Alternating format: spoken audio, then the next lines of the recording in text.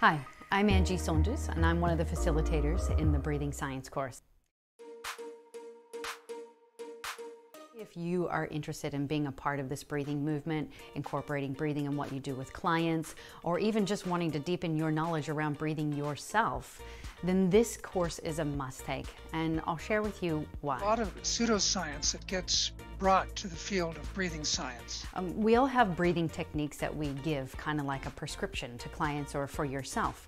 Well, have you ever wondered or had the experience that it works for some and doesn't work for others and kind of been left scratching your head going like, why? There's so much out there on polyvagal and sympathetic and parasympathetic and types of breathing. So very grateful for what I'm learning with you guys. Thank you. It's the psychology behind how somebody breathes, why they breathe that way, and how it affects directly their mental health and physical health and wellness. So I invite you to come on in and experience what this is all about and share it with others as well.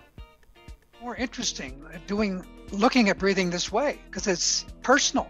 I can't tell you how much I've learned from other people just being the guide.